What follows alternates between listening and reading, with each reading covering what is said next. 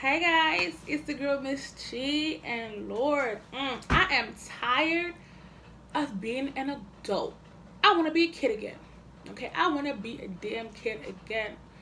I remember when I was younger, I was like, oh, I can't wait till I get older so I can do what I want. No one can tell me what to do. Uh-uh. I don't want that. Oh hell no. There's so much responsibilities. Now I know what my parents went through when I was younger, and my siblings and I would ask for everything. We wanted new clothes, we wanted new shoes, we wanted to go out with friends, we wanted money, we wanted to go to camp. We did everything.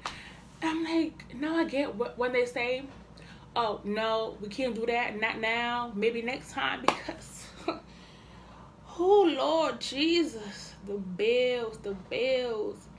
You got to pay for car tax car note, car insurance, rent, mortgage, what else? Electricity, gas, water. Oh my Jesus. The list goes on and on. I am tired. You gotta get up early in the morning, go to work, either six o'clock, seven o'clock, eight o'clock in the morning. Can't be late. If you're late, you'll be put on probation. Oh child. Mm -mm. Oh hell no. I can't. I cannot do this. I cannot do this. Like, do y'all feel my pain? okay adulthood i'm tired of it. I'm tired of it. I don't want to be an adult no more.